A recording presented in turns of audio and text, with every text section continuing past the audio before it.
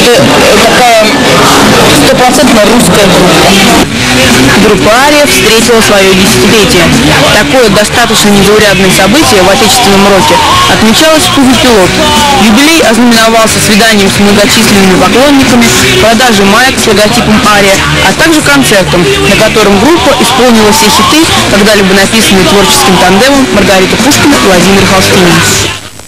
Говоря, даже не помню, как началось наше сотрудничество. По-моему, позвонил Холстинин и предложил написать песни для первого альбома. Да, так было? Ну да. А почему вы решили именно к Маргарите Пушкиной обратиться? А по очень старой дружбе, мы с ней давно знакомы. И мы почему-то были сразу уверены, что у нее получится лучше всех.